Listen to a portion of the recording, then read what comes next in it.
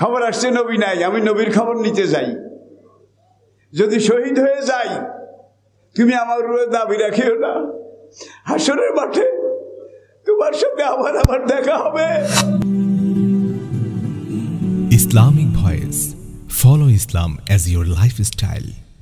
আরেক সাহাবি গাছিলুল মালায়কা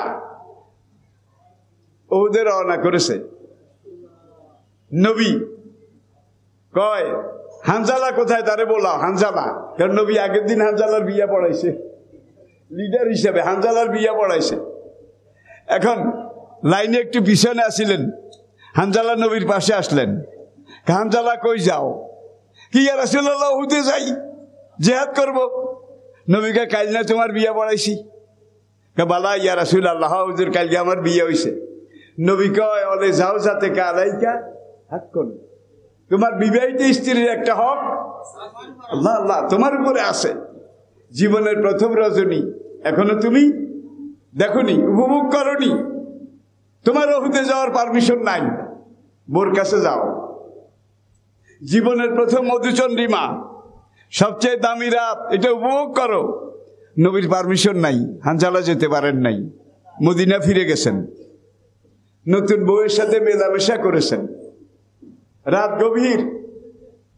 হানাদা মোনাদিন, মদিনা একজন ঘোষক চুঙ্গা মুখে দিয়ে গলিতে গলিতে বলে, শহরবাসী, নগরবাসী, মদিনাবাসী ওর থেকে খবর আসতেছে, নবী নাই নবী নাই, কাদ কোতেলা মোহাম্মদ, কাদ কোতেলা ইবলিস কিন্তু এটা রটাইছে গুজব।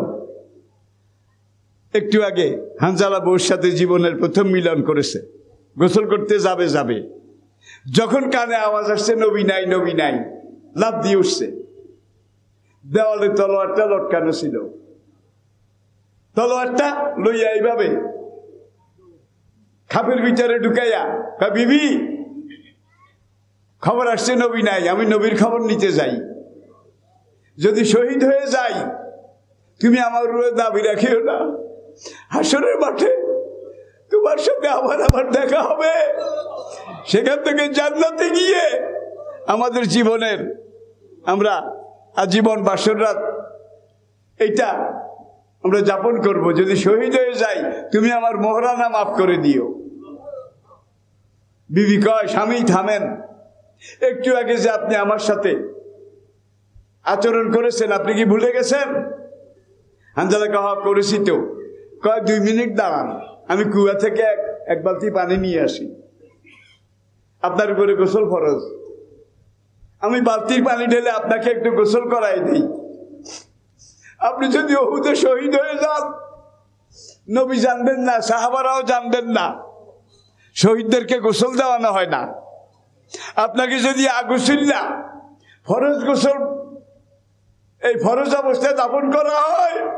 এই নাপাক শরীর নিয়ে আপনি হাসনের মাঠে কীভাবে উঠবেন? স্বামী, দুই মিনিট সময় দেন। আমি আপনাকে জীবনের মতো শেষ গোসলটা করাই দেই। হানসালা বলে, বিবি, রাখো তোমার গোসল। গুজব যদি সত্য হয়ে থাকে, নবী যদি চলে গিয়ে থাকেন, ইসলাম চলে গেছে। ইসলাম যদি চলে গিয়ে থাকে, তাহলে আর গোসলের মশলা খুঁজে লাভ নাই। আমি আগে নবীর খবর নেই সেখানে যদি আমি চলে যাই, মরে যাই, আমার ব্যবস্থা আল্লাহ করবে। তুমি আমাকে আল্লাহর উপরে ছেড়ে দাও। গোসলের সময় দেয় না ওদের মাঠের দিকে দৌড় দিছে। সেখানে গিয়ে শহীদ হয়ে গেছে।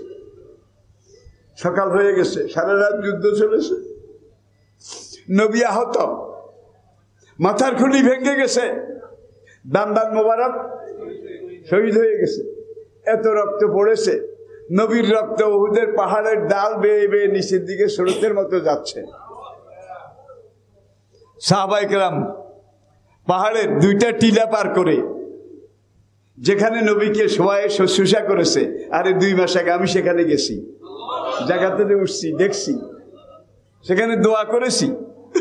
আহত নবীকে যেখানে ও পাহাড়ের উপরে, সাহাবারা সেখানে একটা মহিলা, বোরকা পরা, হেজাব পরা। সে গুনগুন দুরুদ পড়তে পড়তে ওহুদের দিকে দৌড় দেয় দৌড় দেয়। এবার সে মাঠে চলে আসছে। আসার পরে মহিলা বলে নবী জীবিত আছেন কি না? সাহা বলে হ্যাঁ নবী জীবিত এখন কিছুটা সুস্থ, নর্মাল। কারণ নবীর সাথে আমার একটা কথা আছে। নবীকে আমার সালাম পৌঁছাও আর বলো, এক মহিলা আপনার সাথে কথা বলতে চায়। আরে এখন সাহাবি গিয়ে নবীকে খবর দিলেন, কোন এক মহিলা আপনার সাথে কথা বলার জন্য মদিনা থেকে এসেছে। নবী বললেন, তুমি ফিরে যাও, মহিলার পরিচয়টা আইডেন্টিফিকেশন পরিচয়টা জেনে আসো। সাহাবি ফিরে আসলেন। মহিলা বললেন, আমি হানজালার বউ। আমি হানজালার বউ। আমার সাথে নবীর এমন একটা কথা আছে যেটা অন্য মানুষকে বলা যাবে না, শোনানোও যাবে না, পার্সোনাল ম্যাটার। এখন নবী কিন্তু সাহাবারা ঘিরে আছেন। নবী দুইজন সাহাবিকে বললেন, আমি তো একা দাঁড়াইতে পারি না, এত রক্ত পড়েছে, শরীরটা কাঁপে। তোমরা দুইজন একটু দাঁড়াও, আমি দুইজনের কাঁধে বার করি। আমাকে এখান থেকে চল্লিশ হাত দূরে, ওই পাহাড়টার উপরে নিয়ে তোমরা বসায় দাও। দিয়ে তোমরা সরে আসো। মহিলাকে সেখানে পাঠাও, দেখছেন? মহিলা সেখানে গেল। গিয়ে সালাম দিয়া কয়, ইয়া রাসুল আল্লাহ ইয়া হাবিব আল্লাহ আপনার সাহাবি আমার স্বামী হানজাবা সে কি আসে নাকি শহীদ হয়ে গেছে আমি জানি না। তবে আমার উপরে একটা মেসেজ, ফরজ। সেই মেসেজটা আপনাকে দিতে আমি এসেছি। হানজালা আমার স্বামী যদি শহীদ হয়ে গিয়ে থাকে, শহীদদেরকে তো গোসল করার না। কিন্তু আমার স্বামীকে আপনি গোসল না করে দাফন করিয়েন না। কারণ তার উপরে গোসল ফরজ হয়েছে, একটু আগে আমার সাথে মিলন করেছে। আমি গোসল করাতে চাইছিলাম, সে আমাকে সময় দেয় নাই। আল্লাহ একবার আল্লাহ একবার আমরা আরেক জগতে ঢুকে গেছি। বেলা উঠে গেছে অনেক উপরে। হানজালার বউ খবর দিয়ে চলে গেছে। নবী এইবার বলে, সত্তর জন শহীদ, সত্তর জন। হামজারা দিয়ে আল্লাহ তালা সহ। শহীদ হয়েছে সত্তর জন। লাশ এসেছে উনসত্তর জনের। একজন নাই। উনসত্তর। নবী সাহাবাদেরকে বলেন, একটা লাশ কম, তোমরা খোঁজো খোঁজো। পায় না, উনসত্তর। এইবার কয় সাত্তর জন এই উনসত্তর জনের আইডেন্টিফিকেশন তাদের চেহারা দেখো। কে কে কে কে? নাম লেখো, আমাকে তালিকা দাও। তালিকা দিল উনসত্তর। হামজা থেকে শুরু করে সব আছে, কিন্তু হানজালার নাম নাই, তালিকাতেও নাই। এখন নবী কয় হানজালার নিশ্চয় ওরা নিয়ে গেছে। টুকরা টুকরা করবে, কাটবে বেজ্জত করবে, ঘোড়ার পায়ের নিচে দলিত মথিত করবে, আগুন দিয়ে জ্বালাবে। তোমরা একটু খোঁজো নবী কান্দে হানজালা লাশের জন্য সাহাবরাও কান্দে পুরো হুদের মাঠ, কান্নার রোল উঠে গেছে। হানজালার লাশ কোথায়? বেঈমান শত্রুরা নিয়ে গেছে। নবী উপরের দিকে তাকাইলেন। দৃষ্টি অবনত করলেন। নবীজির মুখে বেহেস্তের হাসি। সাহাবাই কালাম সামনে যারা, ইয়া রাসুল আল্লাহ একটু আগে আমরা কেঁদেছি, আপনিও কাঁদছিলেন। উপরের দিকে তাকিয়ে আপনি এখন হাসছেন কেন?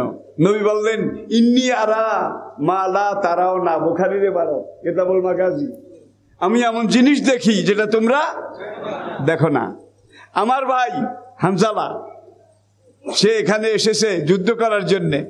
আসার আগে সে বিবির সাথে মিলেছে, গোসল ফরজ ছিল। আমি নবীও জানি না, তোমরাও জানো না। হামজালার বউ এসে আমাকে মেসেজ দিয়ে গেছে। আমি কনফার্ম হয়েছি না সেটা হামজালার। আমি দেখি যে হামজালার লাশ মোবারক আল্লাহ বাইতুল মামুরি নিয়ে গেছে। আসমানে সাত আসমানে দুয়ার খুলে দিয়ে লক্ষ লক্ষ ফেরেস্তা আহলান সাহলান গানা বনার দিতে দিতে বৈতুল মামুরের সেখানে নিয়ে গেছে। সেখান থেকে আল্লাহ পাকের আসে আজিমের পাশে নিয়ে বেহেস্তের সারাবান তাহুরা সালসাবিল ঝর্নার পানি এটা মিলিত করে জিব্রাইল ইমামতি করতেছে সত্তর হাজার ফেরেস্তা মুক্তাদি হিসাবে। আমি তাদের নামাজের কাতার দেখতে পাচ্ছি। ইয়া মার্শাল সাহেব, তোমরা ওয়েট করো। হামজালা লাশ এখনই এসে যাবে। এই বলানা বলার মধ্যে লাশ মোবারক এসে গেছে। হামজা লাশের পাশে ফেরেস্তারা রেখে চলে গেছে। এত সুগ্রাণ এত সুগ্রাণ। কোথায় আল্লাহ পাকের আসছে আজিমে গেছে? আপনি ইসলামের জন্য জীবন দিয়েছেন, আপনার উপরে গোসল ফরজ। আল্লাহ ফেরেস্তা দিয়ে আপনাকে গোসল করাইছে। আল্লাহ পাক জমিনকে হাঁ করে আপনার শহীদের লাশের হেফাজত করেছে। আল্লাহ পাক পাহাড়ের ভিতরে ঢুকে আপনার লাশ